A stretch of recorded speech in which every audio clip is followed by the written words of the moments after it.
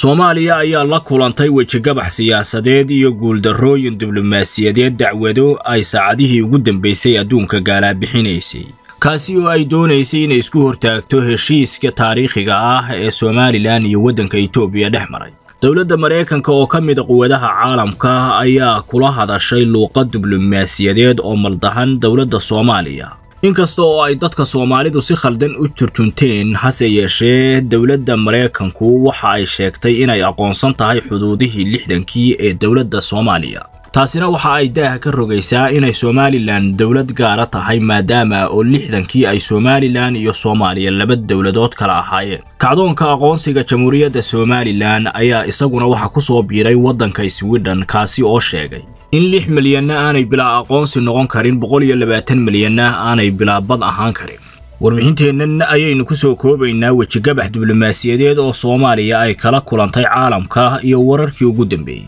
Dowladda soomaaliya ayaa waxa ay u xusul duubaysay saacadihii ugu dambaysay oo naf iyo maalba u horeysay sidii ay u joojin lahayd. Aqoonsiga caalamiga ah ee ay somalilan helayso iyo sida oo kale heshiiska dhex maray etoobiya iyo somalilan kaasi oo mooraal jab iyo muraara dilaac ku riday madaxda magaalada muqdisho ee xarunta waddanka soomaaliya. Waxaana ay si wada jira u garaaceen albaabada caalamka iyaga oo isugu yeedhay wixii ay diblomaasiyiin hayeen.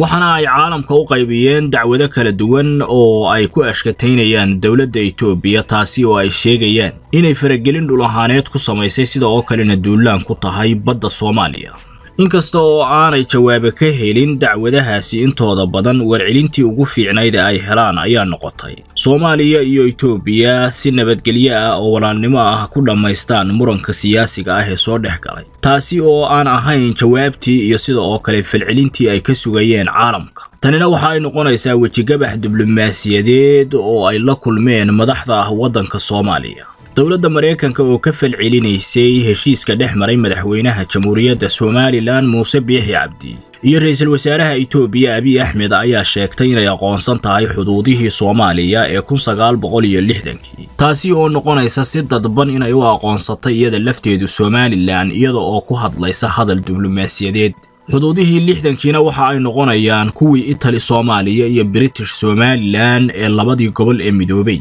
Inkasta oo aanay oggolayn somalilan inay waddan madax bannaan ahayd oo la midowday soomaaliya siyaasiyiinta magaalada muqdisho ku sugan. Hase yeeshee abaalkii ay gashay somalilan oo aan la gudinin ayaa wakhtigan xaadirka ah keenay inay hesho nabsi aqoonsi oo burqanaya waddamada caalamka ayaana waxa ay u kala dheeraynayaan kacdoonka aqoonsi ee wakhtigan xaadirka ah ay somalilan gacanta ku dhigtay. Iyada oo waddanka swidhen uu ku soo biiray waddamada dardar gelinaya in lix milyanna ay helaan aqoonsi milyanna ay deked helaan kira ah. Waxaana waraaqu u gudbiyey baarlamaanka waddanka swidhen xisbiga s d uu ku sheegay in sida ugu dhaqsaa badan loo taageero heshiiska madaxweynaha jamhuuriyadda somalilan iyo ra'iisul wasaaraha waddanka etoobiya ku dhex maray magaalada adis ababa ee taariikhiga ahaa.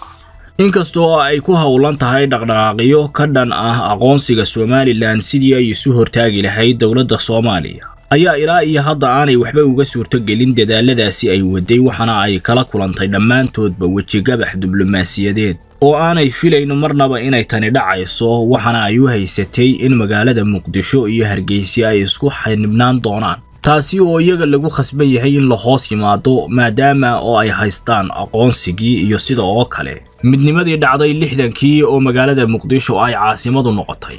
Aragtida tan ayaase waxaa khasbay aragtida iyo sida oo kale rabitaanka shacabka jamhuuriyadda somalilan oo aanay cidinays hortaagi karin waxaana ay u soo samrayeen inay dhacdo tan maanta taagani laba iyo soddon sannadood sannadkii saddex iyo soddonaadna way ku jireen.